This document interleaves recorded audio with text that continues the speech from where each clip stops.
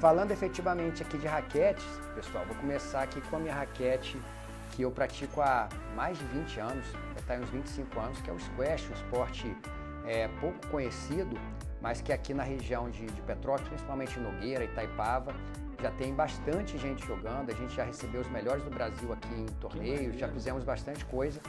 E eu dou aula há muito tempo, né? me formei em Educação Física aqui na Estácio e, e já dou aula há bastante tempo e sempre foi minha paixão jogar, é, estimular e dar aula.